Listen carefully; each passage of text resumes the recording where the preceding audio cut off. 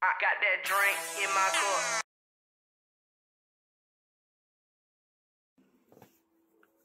All right, everyone. Safe Fizzler here. Uh, today is Saturday, October 28, 2023. It's about 2.30 p.m. Eastern Standard Time. So the Florida-Georgia game will be kicking off in about an hour. So I'm going to go ahead and do this video right quick. Time for another A Fizzle Productions drink review. And this is about three weeks in the making. At this point, I just haven't got to it. But we're going to go ahead and do this now. Go ahead and get it over with. So I can um, jump in the shower and get gator ties for the game this afternoon. Um, so today on deck we got uh, Taco Tuesday is a Mexican style lager from Monday Night Brewery up in the ATL. Uh, what possessed me to buy this beer? I would never have the clue, but I think I got this about three weeks ago. It's just been sitting in my refrigerator because I've been going out and stuff. So I just haven't got around to it. Then on this past Sunday, I was hungover. So, I, well, I was hungover to start the day. So I just wasn't feeling like drinking. So, but now I got a little time, you know, because I either, it's either going to be today or, or probably two weeks from now. So let's go ahead and do, oh, I gotta see what's, okay, so that call volume's not that bad. It's only 4.5. here.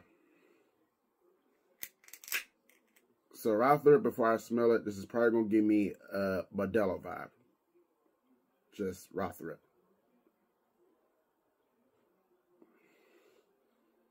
That's just, has its own unique smell. Like it, it doesn't even have a smell at all. Just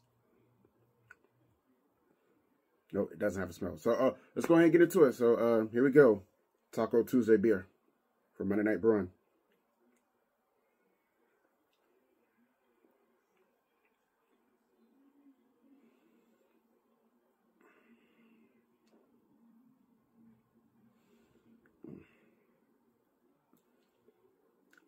It doesn't really have a taste to it either. So it kind of reminds me more so of the um, Modelo beer. You know, just that Mexican flavor to it. More Modelo, less of a Corona, if, you know, just want to be more specific. I'm going to give this a 7 out of 10. Only because um, it has no taste to it, but it's not bad either. So so yeah, uh, at this point, I already got two drink reviews that have been recorded. I just got to upload it to my social media. I do got at least one more that is, um, I do need to try. I'm probably going to try that one tomorrow. At least record it tomorrow.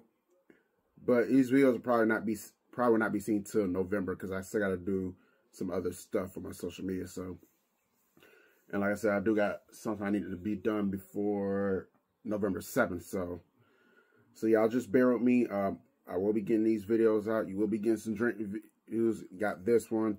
Um, by, by this time, you probably seen the previous two uh, that I worked on in recent memory. And I do got one more.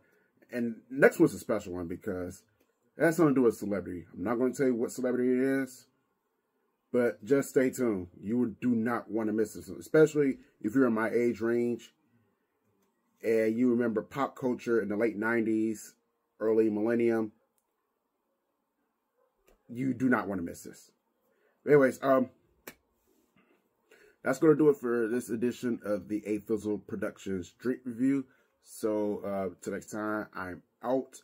Come back next time for another A Fizzle Productions Drink Review, which, like I said, um, it'll, you know, I'll be recording that tomorrow, but you probably won't see that for at least another week or two. So stay tuned.